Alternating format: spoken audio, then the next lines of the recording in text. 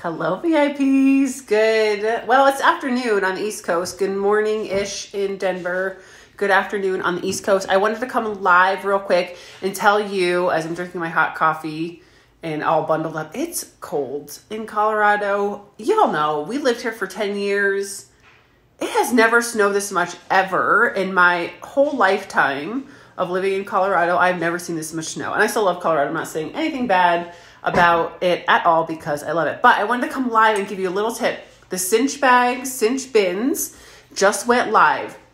So they're a bin, they're about the same size ish as our caddy, right? This is a little um, Valentine's gift we have for one of our girlfriends. Um, it's about the same size ish with a cinch bin. There's a, a ton of uses. I just posted a picture of like 31 different uses, but I wanted to give you a tip because I just ordered mine. So I had put my girls wanted some. I wanted some for my kids' bathroom. So I put like a few in my car and then I added the small utility tote. Look, I should be ready for this. I should be more prepared for these videos. But look, here's the small utility tote that is on sale for special for $10. So if you buy, again, this is not the bin, but you know I'm talking about. Three of the little cinch bins, that's gonna be $36. You can get two of these small utilities for $10 each. So that ends up being 50 55 $56, right, for the bundle. Three bins, two small utilities, $56. But I'm going to give you a tip, and this is something that I just realized when I was shopping, is any orders, your, your sales, right, your total, any orders under $100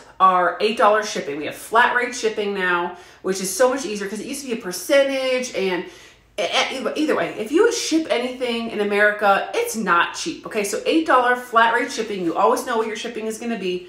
It's reasonable, but this is the tip.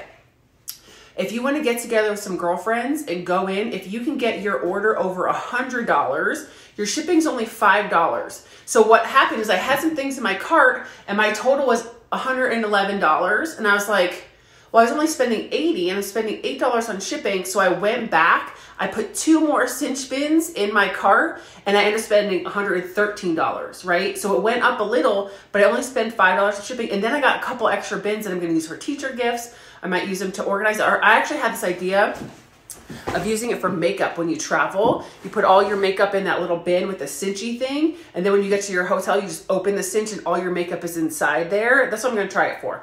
But just a tip, those bins are $12. They're limited time. Once the colors are gone, they're gone. Add on with the small utility. And if you and your girlfriends want to get together and save on shipping, or you just want to stock up with those for gifts for upcoming Mother's Day, maybe a cute little Easter gift. Oh gosh, I, there's so many things. Get your order of $100 and you will save on shipping. So that's my tip.